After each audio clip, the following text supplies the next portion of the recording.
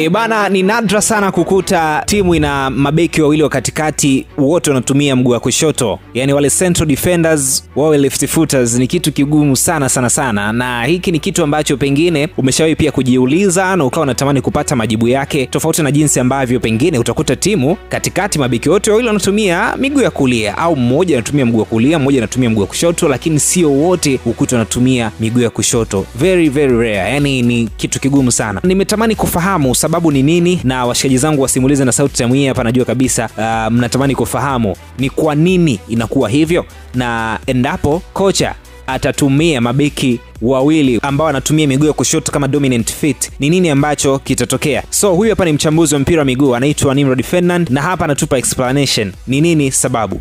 Wachezaji ambao wanatumia dominant foot ambayo ni kushoto, huwa miguu yao ya kulia ni dhaifu sana.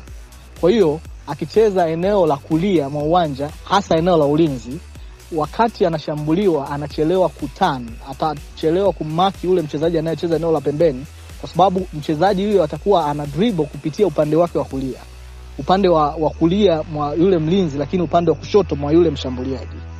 Mlinzi atateseka kugeuka, mwisho wa siku itakuwa hatari kwake, kwa sababu nguvu zote ziko upande wa kushoto. Lakini ukimtumia mchezaji ambaye dominant foot yake ni ni, ku, ni ni kulia lakini anacheza kushoto, ataweza kugeuka hata kumaki upande wa kushoto. Ni majibu hayo hayo pia kwa walinzi wakati.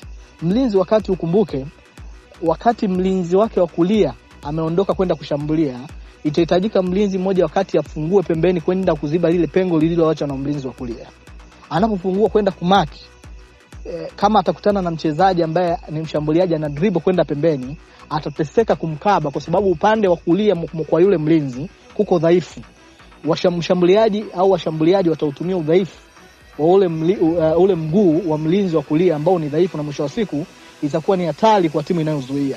Kwa hiyo makocha wengi wanaligundua hilo, na ndio maana ni ngumu sana kuona timu ina walinzi wawili wanaotumia mguu wa kushoto, kwa maana ya walinzi wa kati, lakini ni rahisi sana kuona walinzi wawili wote wanatumia mguu wa kulia makocha wote akiwa na mlinzi wakati ambaye anatumia mguu wa kushoto, na of course wanahitajika sana, ni bidhaa adimu sana sokoni. Utaona anamtumia mmoja anayetumia mguu wa kushoto kama dominant, lakini anamtumia mlinzi anayetumia mguu wa kulia kama mlinzi pacha. E bana, asante sana Nimrod Ferdinand, mchambuzi wa mpira wa miguu. Uh, tunaweza tukampata Instagram kwa jina la Truth Nimrod. Uh, mimi naitwa Rich Kiza, nipate Instagram vizuri kabisa kwa jina la Rich Kiza kumi. Kiza yenye Z mbili itakuwa imekaa vizuri, lakini kama ilivyo kawaida, SNS tunapatikana kwa jina la Simulizi na Sauti katika mitandao yetu yote ya kijamii, itakuwa imesound vizuri. Yes, endelea kubaki hapo hapo kwa ajili ya madini nondo za kibabe. There we go.